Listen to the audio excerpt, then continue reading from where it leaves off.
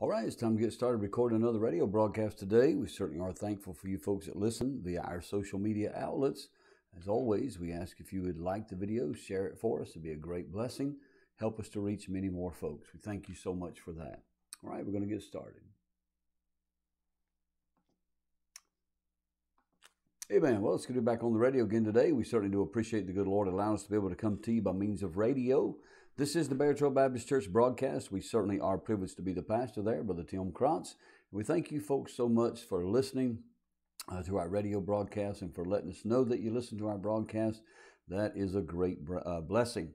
All right, you can visit our church website if you'd like, beartrailbaptistchurch.com. That website gives information in regard to our church, our service times, our church location, uh, what we believe, all kinds of stuff. There's messages on the website as well that you can listen to, recorded by myself and our assistant pastor and others who preach for us here at the church as well.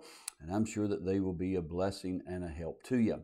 All right, we're going to get started today. We concluded, well, actually, we didn't conclude, but we stopped preaching in Psalms 15 on last week's broadcast. So we all probably had enough to do almost another entire radio broadcast from Psalm 6, uh, 15, but we're going to move on to Psalm 16 today, and hopefully the Lord will help us to be a help to you from this psalm as well. Let's pray together. Ask the Lord to help us, and we'll get started in Psalm 16. Father, we love you.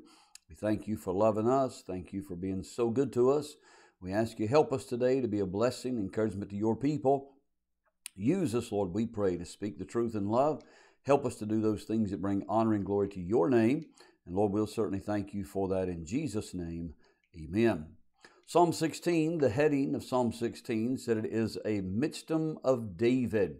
Now, this is one of several Michtam Psalms. Uh, in fact, Psalm 56 through 60 are all Michtam Psalms. And this word means, Michtam means to engrave, or it has the idea of sculptured writing. It comes from a noun meaning gold. This psalm, this particular psalm, here Psalm 16, that is referred to as a Michtam of David, is also referred to as the Golden Psalm. What that means is, is the writing of this psalm is worthy of being written in gold. Now, there's a theme with these Michtam Psalms. All of these Michtam Psalms seem to end on a triumphant note.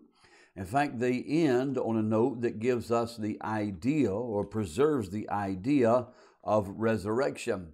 Now, the setting or the background of this particular Psalm 16 is believed or is believed to be at a time when David was fleeing from Saul. Now, of course, you read a lot about that in the Old Testament, especially in First and Second Samuel and so forth. But uh, it, David has been driven away from all of his uh, uh, material inheritance. We see that in 1 Samuel chapter 26, verse 19. And so this would be a psalm that would be read when a person is afraid or when a person is discouraged. In fact, the psalm is pretty much a very personal hymn of joy that focuses on the goodness of the Lord. In fact, the psalm is 14 times in 11 verses that make up the psalm the personal pronoun my is used. It talks about my trust, my soul, my Lord, my goodness, my delight, my lips, my cup, my lot, my reins, my right hand, my heart, my glory, my flesh, my soul.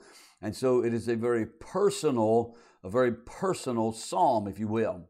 Now, the psalm is not only a Michtam psalm, the psalm is also a messianic psalm. Uh, it has some prophetic references to the Messiah, the Lord Jesus Christ.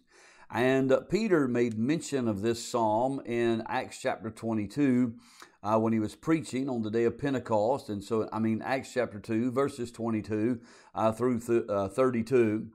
And uh, this, he, he said this psalm referred to Jesus, and so did Paul. Paul also said that this psalm referred to the Lord Jesus Christ in his sermon in the synagogue at Antioch of Pisidia in Acts chapter 13, verses 28 through 37.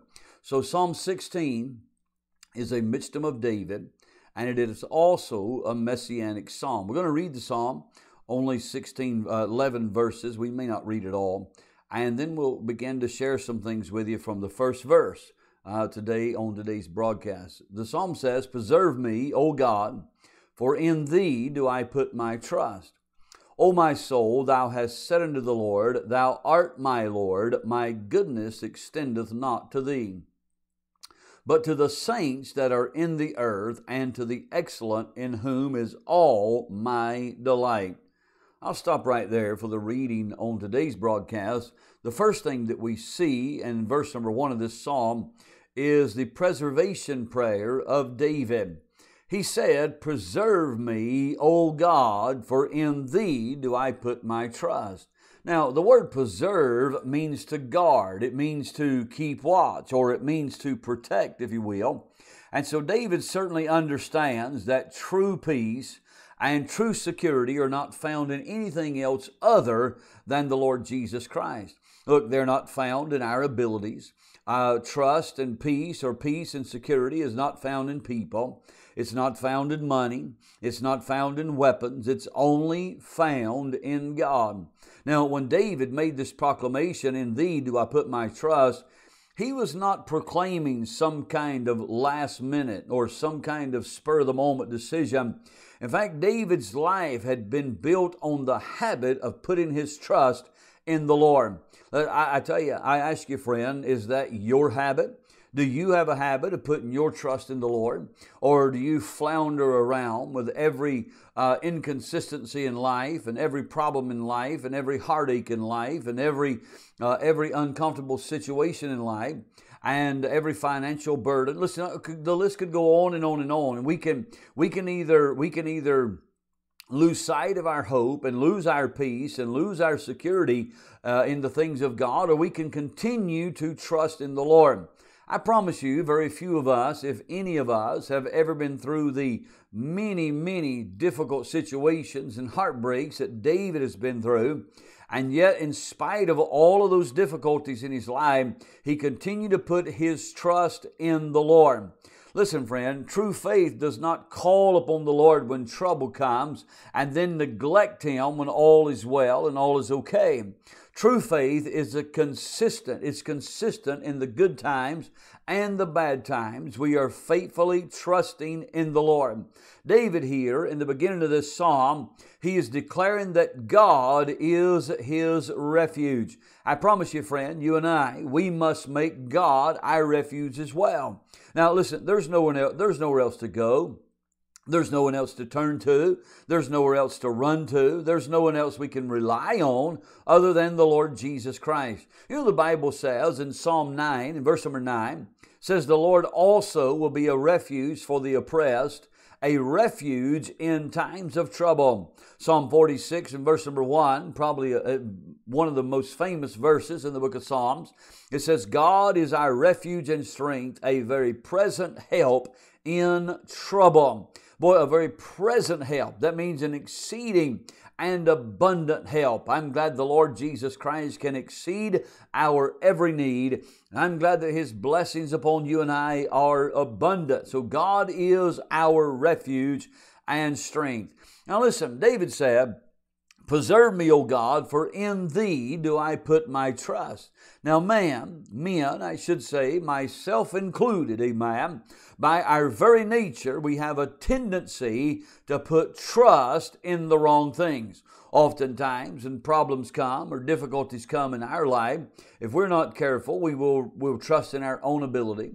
We will trust in the ability of those who we know can meet the need that we have.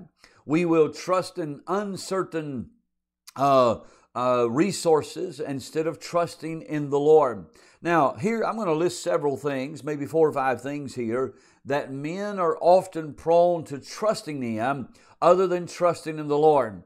Here we go. First of all, some trust in their worth or their righteousness. They think that they're good enough, or that they have done enough good deeds, or that their life is pleasing enough to God that that'll get them through. But friend, the Bible says in Isaiah 64, verse number 6, says, But we are all as an unclean thing, and all our righteousness are as filthy rags, and we do all fade as a leaf, and our iniquities, like the wind, have taken us away. In other words, God says that our righteousness, the things that do, we do right, the things that we are good at, the things that, that are upheld by others as being decent and moral and good, the Bible said that all of those things are as filthy rags. Now, I, am so thankful that I'm dependent on the Lord's righteousness and not my righteousness. Now, see, uh, let me say, preacher, why is that? Well, let me just tell you this. We may see folks doing wonderful things. They, they may be living a life that is well pleasing to God and it is a great example to their neighbor and their, uh, their, their uh, church members and all of that kind of stuff. And listen, friend, I'm not making light of that. That is a great thing. But friend, we don't know the heart behind that. They could be doing that to receive the accolades and the pats on the back of men. They could be doing those things in order to enhance their social status or, or their financial gain or any such thing. We have no idea the heart motive behind what people does. And so Lord knows that man, by his very nature, is rotten to the core. And there's nothing at all good about you and I except for the Lord Jesus Christ. And so we can't be we can't be putting trust in our own worth. We can't be putting trust in our own righteousness. The Bible says that it is as filthy rags. Now here's the second thing, some trust in their works. Now, this is closely related with the previous point.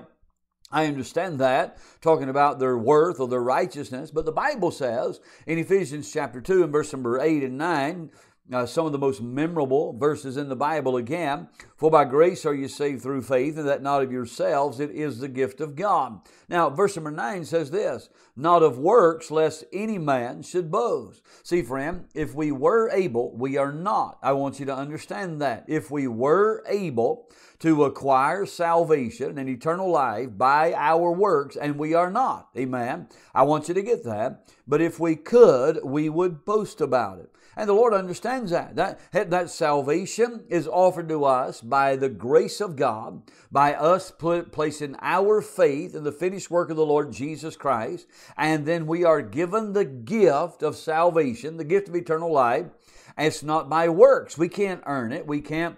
Uh, we can't do enough good works to acquire it. We can't. A lot of folks have this idea. A lot of folks teach that you're saved by grace through faith, but then you have to work to keep yourself saved. Friend, you've done away with the gift. You've done away with the grace of God. You you have done away with the fact that not of works, lest any man should boast. In fact, in that very passage of Scripture, God said, You are proud. And those people who think that they're living good enough or well enough to stay saved, or that they're doing enough good works to keep their relationship and their salvation in touch with God, I'll tell you what those folks are, friend. They are proud because I, I understand and I realize that all of my righteousness is filthy rags, and I have never done anything to merit or deserve the favor of our God. And so David understood that as well. He said, Preserve me, O Lord, for in thee do I put my trust. So some are trusting in their worth or their righteousness.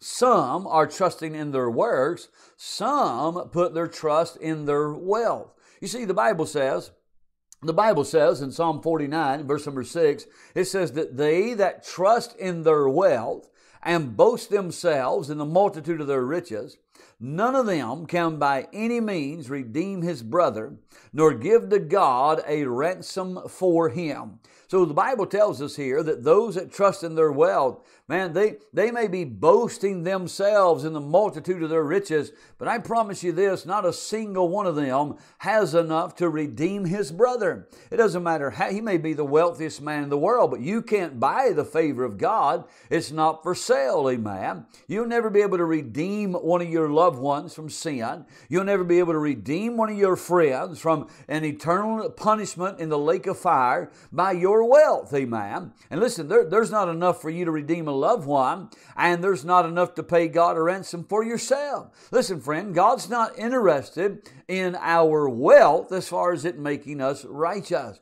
Now, the Bible says in Psalm 52, verse number 7, the Bible says, This is the man that made not God his strength, but trusted in the abundance of his riches. Now, here's what happens when you do that. I'm going to read the remainder of the verse. And strengthened himself in his wickedness. Listen, friend, God makes it very clear that we are not to trust in riches. In fact, if we're trusting in anything other than the Lord, other than the Lord Jesus Christ, we're trusting in anything other than our God, our Savior, then we are strengthening our own wickedness.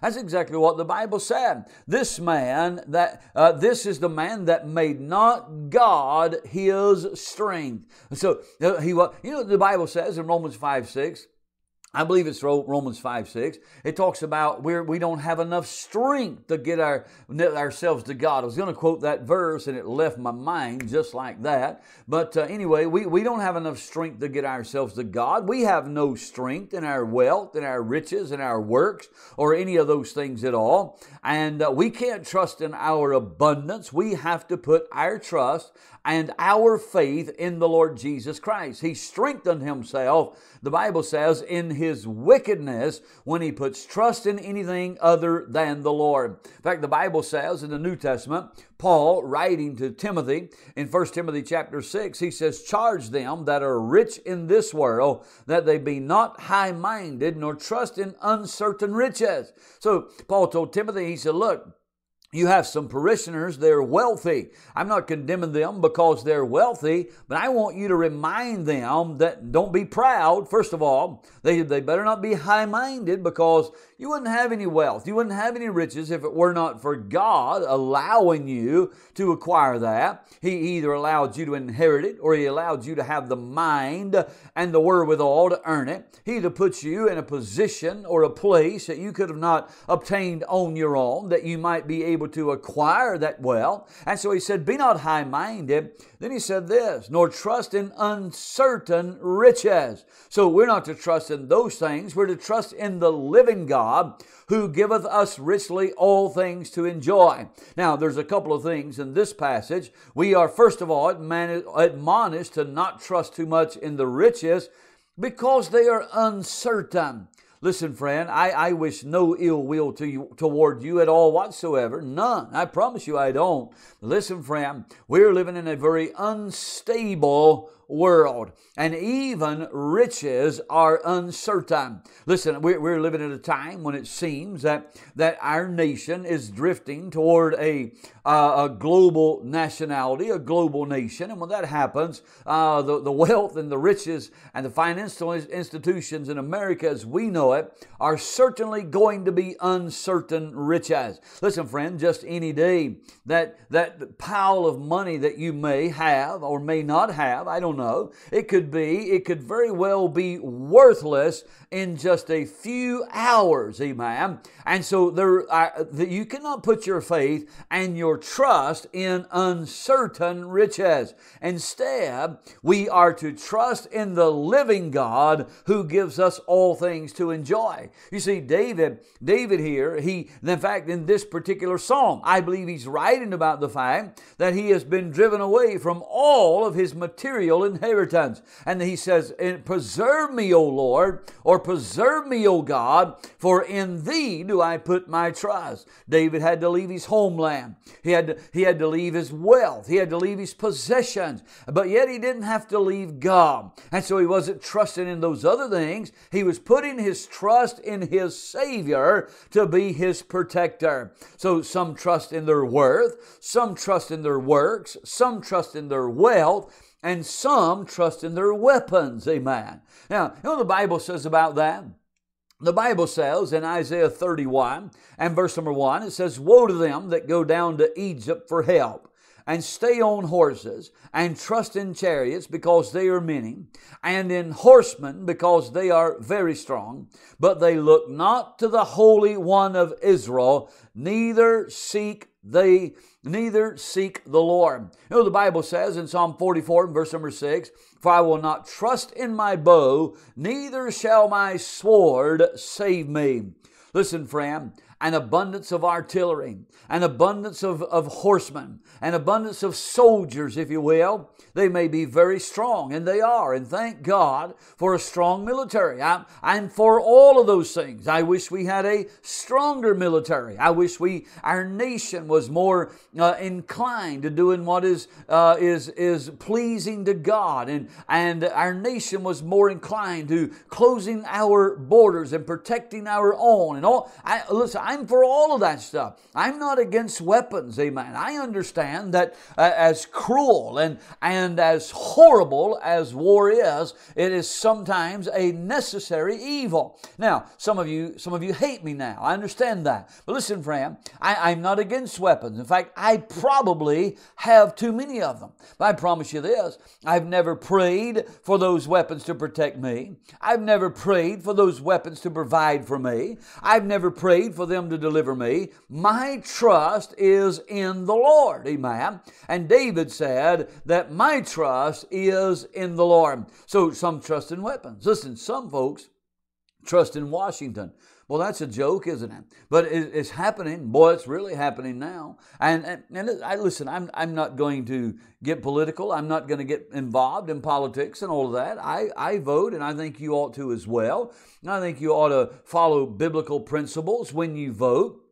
And I think you ought to exercise your right to do that. But that's not the meaning of my message today. I'm telling you this some folks trust in Washington. You know the Bible says? The Bible says in Psalm 146 and verse number 3 Put not your trust in princes, nor in the sons of man, in whom there is no help. Did you hear that? The Bible says, Put not your trust in princes, nor in the Son of Man, in whom there is no help. Listen, friend, ultimately, man, whether he be a prince or no, is not going to be able to help you. We must have our trust in the Lord. You know, the Bible says in Psalm 118, verse number 9, it is better to trust in the Lord than to put confidence in princes. Listen, we, we need to put our faith, we need to put our trust in the Lord Jesus Christ. The Bible says in Jeremiah 17, verse number 5, Thus saith the Lord, Cursed be the man that trusteth in man, and maketh flesh his arm, and whose heart departeth from the Lord. Listen, friend, we better put our trust in God. The Bible said here that cursed be the man that trusteth in man. I'm not trusting in man in this upcoming election. I'm trusting in the Lord. I'm not trusting in man to provide my needs for today. I'm trusting in the Lord. I'm not trusting in man to provide my needs tomorrow. I'm trusting in the Lord. I'm not trusting in man to provide my needs next week or next year. Should I live to see any of those times, my trust will continually be in the Lord. It's not been man that's gotten me to this point, it's been God. It'll not be man that gets me home to glory, it'll be the Lord. David said, I am in a horrible place. I am in a terrible situation. I am without all of my inheritance. I am away from everything that I have. But God, you preserve me because it is in you that I am putting my trust. And so, first of all, in verse number one, we see the preservation prayer of David. Now, in verse number two, we see the perception and praise of David. You see, in verse number two, he said, O my soul, thou hast said unto the Lord, Thou art my God. So David says here, we'll talk, Thou art my Lord.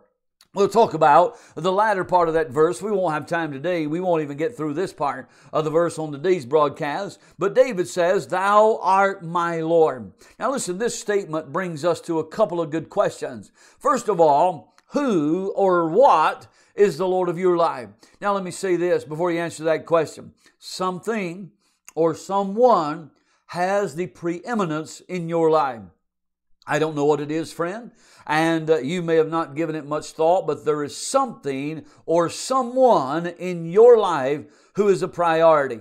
David said, O my soul, thou hast said unto the Lord, Thou art my Lord. Listen, I hope the Lord has the preeminence in your life.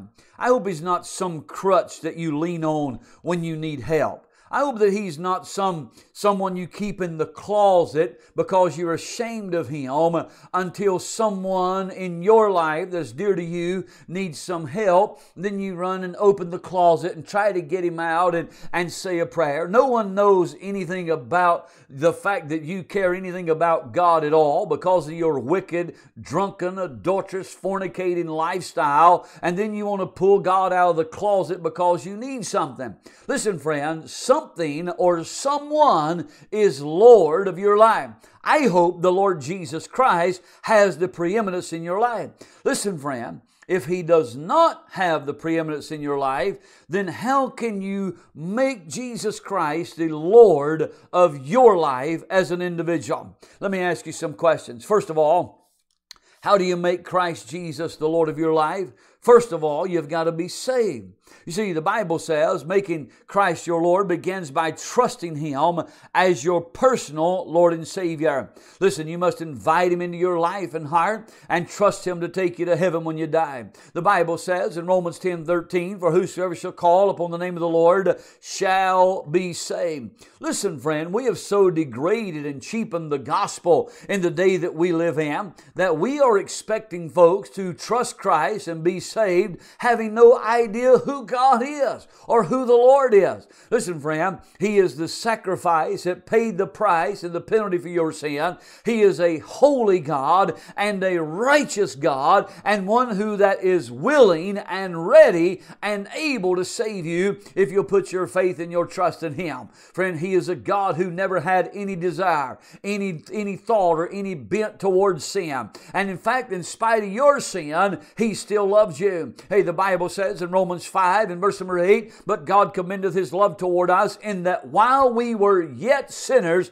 Christ died for us. So listen, friend, you recognize your sinful condition. You understand the fact that because of your sin, you've been separated from God. That separated for separation for God, should you die in that state, is a prescription for hell. Then one day, friend, you'll be raised from hell to stand at the great white throne judgment, and you'll be cast into the lake of fire and outer darkness for all eternity. Simply, friend, because you refused to believe upon the Lord Jesus Christ for salvation. You see, friend, he who is without sin, he died upon the cross of Calvary bearing your sin. They placed him in a borrowed tomb. Three days later, he got up out of that tomb, victorious over death, hell, and the grave, so that you and I could place our faith and our trust in the finished work of the Lord Jesus Christ and we could be saved. Listen, friend, folks have this mentality that we are all the children of God. No, we are all creation of God. He is the creator. You didn't evolve from, from, from some monkey. You didn't evolve from some tadpole. You wasn't some single celled amoeba sometime back millions of years ago. No, God created man and He breathed into man the breath of life.